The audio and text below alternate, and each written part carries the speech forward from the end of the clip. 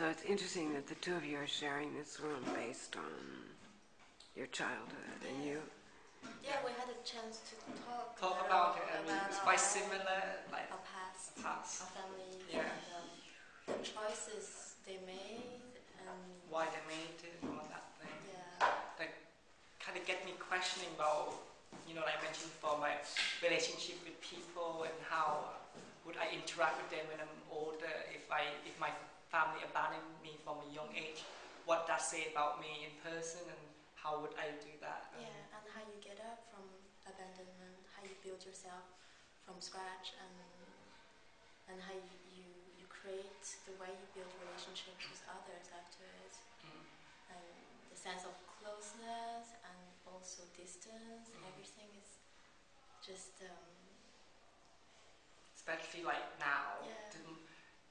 It wasn't. I don't think it's that acceptable now. But back in the day, it's quite acceptable, especially with the Asian family. in our cultures. in our culture, it's kind of like it's kind of like it's so easy to abandon someone, but then expect to go back and rebuild everything normal. again, be normal, and normal again. but they're not really questioning how the child would react to that in a way. And yeah, and I don't know for you, but in my family, it's like we don't talk about it. Mm.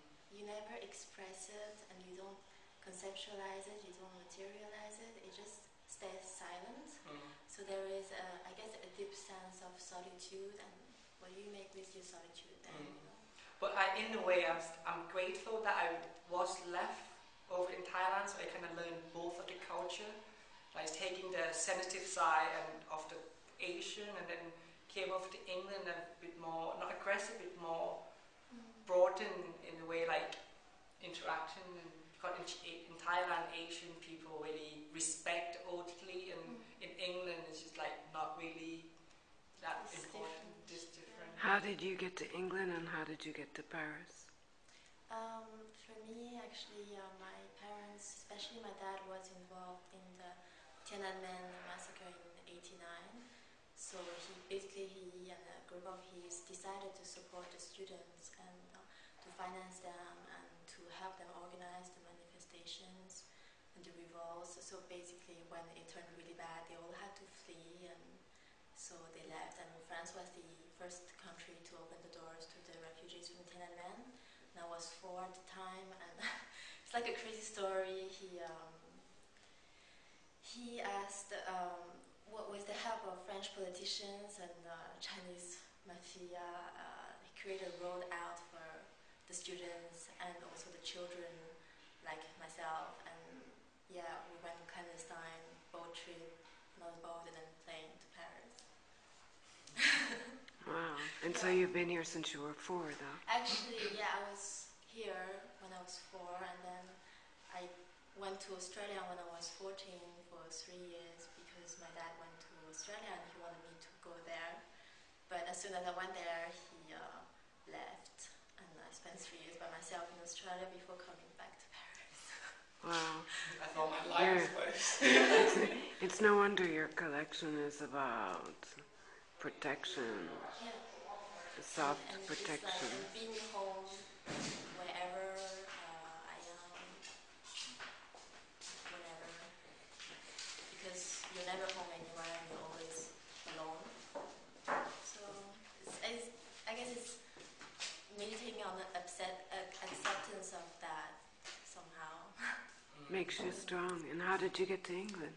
Oh, well, mine a bit more simple, but um, basically my mom and dad, well, my dad English, my mother is Thai, but um, they lived in Sydney before they came over to England. Oh, no, that connection too. yeah. um, well, basically, um, my mom fell pregnant with me, like with, in 1985, and then she gave birth and whatever, and then she, some reason she made a decision to left me in Thailand with a, foster family for them to brought me up because she wanted to make a life herself first in England with my dad, so because she wanted to rebuild everything first. Like, because, um, I don't know why, how come, but then I had, I got four older sisters that they came over to England with my parent, so the only me left in, in Thailand with all this like not not a random foster family, it's like a friend of the family. So I kind of brought up knowing but then I love them like my own family. And then by the age of 12, they came over and brought me over. But then between that 12 year, I hardly see them. But I know of them, they're my family, but I don't really have that connection.